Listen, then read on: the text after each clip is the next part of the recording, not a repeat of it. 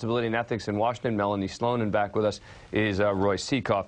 All right, uh, Ms. Sloan, let me ask you something. I mean, if he had disclosed this, if he had said, look, I've got a friend, he's doing me a favor, we're old friends, is that okay? No, then they'd have had to prosecute him for bribery. Really? I mean, yeah. can, can, can, can he not, let's say it's his oldest college friend in the world, can that person give him any sort of uh, gift, do any work for him, et cetera?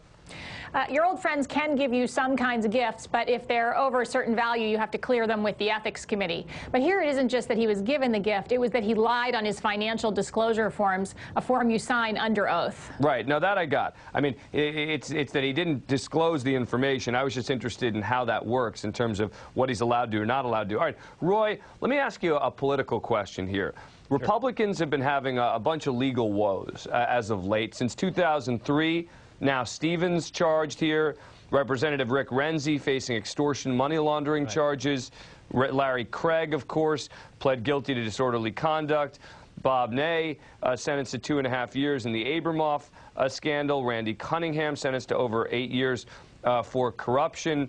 Um, and, you know, and that's just the people who are actually charged. Uh, is this an ongoing problem for Republicans? Because on the other side, of course, you've got Jefferson and, and others, uh, Democrats have gotten into trouble too.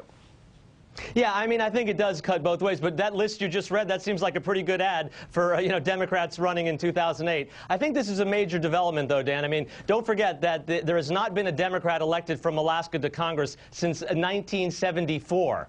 And this, and right now, this looks like a seat that could very easily go to the Democrats. So that would be a major pickup. The, the very popular mayor of Anchorage was already ahead of Stevens. He's running on a very, you know, ethical campaign, commitment to ethics. So I think this just helps him a lot. Uh, Melanie, is this going to open a door, do you think, to more investigations of senators? I think it really does. The unusual thing about this prosecution is it's a very rare prosecution that focused only on lying on the financial disclosure forms.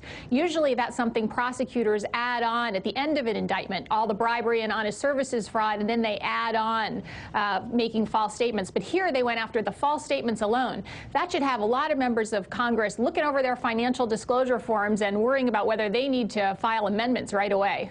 All right, Melanie Sloan and Roy Sekoff, thanks a lot. Appreciate it. Okay, Dan. Coming up, still no sign of two-year-old Caylee.